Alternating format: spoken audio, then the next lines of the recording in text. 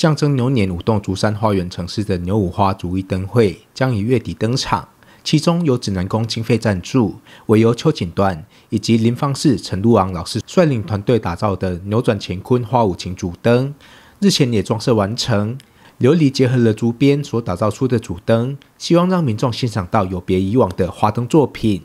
这次主灯的概念就是牛五花嘛，那我们这次是结合呃在地的竹山的竹子，那我们找邱锦段老师配合，就是说我们要让民众知道，就是说一如果说单一美彩玻璃的话，它的有局限。那我们用复合媒材，就是竹子，让人家能够知道说在地的那个竹子跟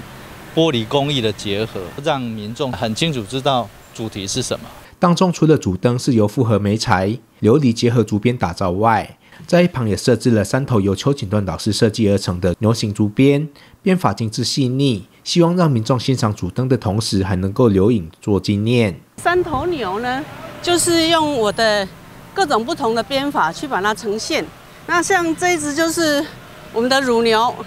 那你看到上面有竹配合一些花朵，也配合了我们这次灯会的主题牛五花的主题。那我们希望呢牛它可以呈现它三种不同的花样，所以三头牛我们的编法都不一样，然后配色也不一样。希望把我们的竹艺呢可以带给大家一个不同的一个观感。此次主灯作品琉璃部分，除了在夜间透过灯光能展现出相当动感的氛围外，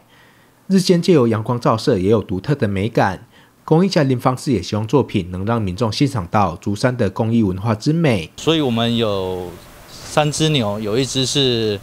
呃水牛、乳牛，还有一只黄牛。那它的框架是不锈钢金属，那里面是邱锦段老师的竹编。那花朵的部分，我们最主要是也是配合邱锦段老师的竹编跟我们的琉璃的部分。那白天的话，它有不同的光影的呈现；那晚上灯打亮的时候，它又有不同的氛围，好让民众体验，就是说不同的一个复合美彩的艺术的一个结合，好让这一次的主灯啊，让外来的民众、外来的游客能够